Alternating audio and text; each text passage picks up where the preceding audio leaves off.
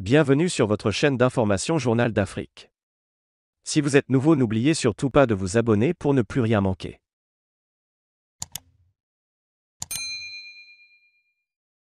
Président Bachar al-Assad prend position dans la crise ukrainienne et de manière très claire.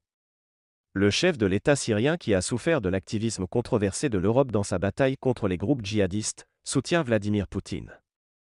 Un soutien qu'il a manifesté dans une déclaration univoque. Bachar al-Assad qui félicite son allié russe Vladimir Poutine dans le dossier ukrainien, cela est de l'ordre de la palissade.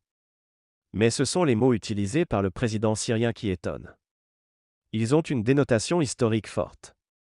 En effet, pour Bachar al-Assad, l'action militaire de Vladimir Poutine est une remise à niveau de l'histoire. Il estime que l'éclatement de l'URSS a été dicté par l'Occident. C'est donc un retour à la normale qui se fait.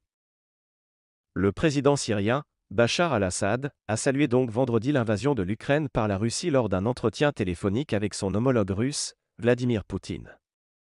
Il s'agit d'une correction de l'histoire, à en croire Assad.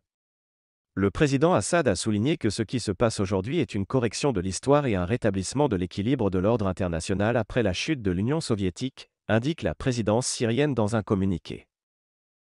La Syrie est avec Pékin, les premiers pays à apporter ouvertement leur soutien à la Russie les hommes de Poutine ont lancé une offensive sur l'Ukraine pour dénazifier et démilitariser ce pays qui lorgne vers l'OTAN.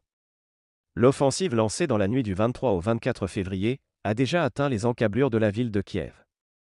Des combats ont lieu en ce moment à quelques kilomètres de la capitale.